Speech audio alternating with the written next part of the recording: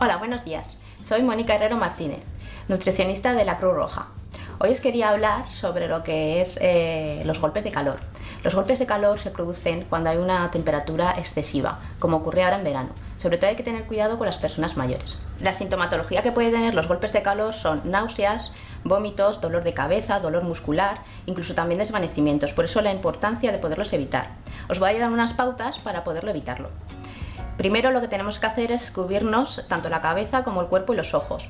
Los cubriremos con sombreros, con gorros, eh, gafas de sol y con ropa adecuada.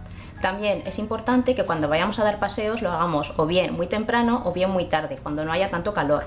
Si vamos a hacer senderismo o vamos a hacer un ejercicio intenso, lo que tenemos que hacer es llevarnos agua y aparte de agua también podemos tomar bebidas isotónicas.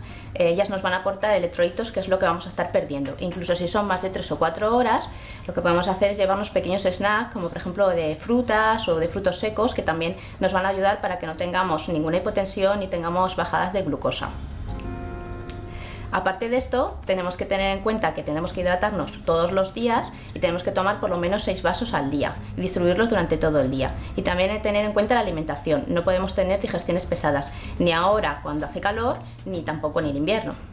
Tenemos que introducir eh, pues verduras, frutas que nos van a aportar mucha agua, nos van a aportar fibra y también muchas vitaminas y minerales. Siguiendo estos pequeños consejos vas a poder conseguir disfrutar más del verano. Muchas gracias.